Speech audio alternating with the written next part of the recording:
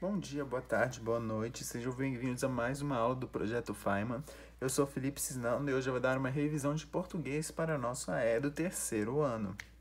Lembrando sempre, por favor, acessem o AVA, não deixem de acessar o AVA. Os professores sempre botam conteúdo lá, é muito importante. Os professores de português botaram os mapas mentais bem interessantes lá para você olhar também. Então não deixem de estudar pelo AVA. Então vamos começar. Primeiro, quais são as nossas 10 classes de palavras que nós temos na língua portuguesa?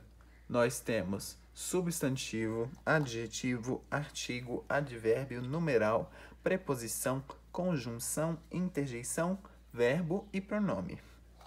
Um jeito muito, muito usado para separar essas classes também é quanto à variação, porque existem classes que são variáveis e outras que são invariáveis.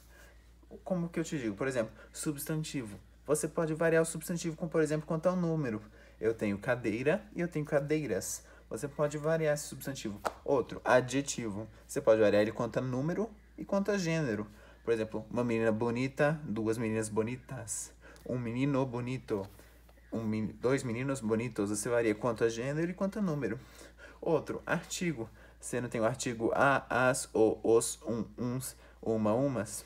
Então, ele varia entre número, pessoa, pessoa e ainda ele pode ser indefinido ou definido, definido. Então, ele é variável. Agora, a gente vai entrar na nossa primeira classe aqui, que vocês vão ver que ela é invariável. O advérbio. Você não pode mudar essa palavra quanto pessoa, número, gênero. Você não pode mudar quanto nada disso. O advérbio, ele é invariável. Você não varia, por exemplo, nunca de acordo com pessoa, número. Você não pode variar mas, aquele mas conjunto, aquele... Desculpa. É, você não pode variar o, o sempre de acordo com número, pessoa, nem nada. Esses advérbios são invariáveis. Numeral. Numeral é variável. Você não tem um, uma, um masculino e uma feminino. Então, preposição. Aí outra classe invariável. Porque você não varia preposição por causa de número ou de pessoa ou de gênero. Porque nós temos a preposição de. Você não varia isso só por causa do gênero ou do número. Você não, você não tem o de e o des. Você não tem um feminino e masculino de. Ele é invariável. Outro invariável é a conjunção. Por exemplo, a conjunção mas, que representa a oposição. Você não varia ela de acordo com o número pessoa. É mas e sempre é mas. Você não varia. Interjeição. Vamos lá. Interjeição confunde a cabeça de muita gente. Por quê? Muita gente não sabe o que é uma interjeição. Uma interjeição é basicamente uma exclamação. Como assim uma exclamação? Principalmente porque ela, geralmente, ela é seguida de um ponto de exclamação. Por quê? Você chega para alguém e fala, você, alguém de você você fala ai. Ai em si é só uma palavra, mas ela representa uma exclamação sua, você expressar esse sentimento.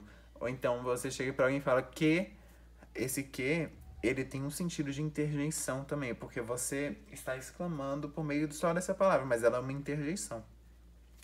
Outro verbo o verbo ele varia, tanto é que você conjuga ele, né? Você conjuga de acordo com a pessoa, pessoa primeira, segunda, terceira, singular do plural, ou então você conjuga quanto ao tempo futuro, pretérito, presente. Pronome. Pronome é outra classe que você varia. Ah, não sei se, não lembro se eu falei, mas interjeição não varia, é invariável. Pronome é outra coisa que você pode variar. Vou pegar o exemplo dos pronomes possessivos é meu lápis e a minha caneta. Você varia, por exemplo, quanto ao gênero. Então, essa é uma das principais formas de você separar essas classes em algumas categorias. Então, é por, por hoje vai ser só isso. Eu realmente espero que vocês tenham aprendido. Lembre-se que ninguém é tão grande que não possa aprender e nem tão pequeno que não possa ensinar. Muito obrigado pela atenção de vocês hoje. Tchau, tchau.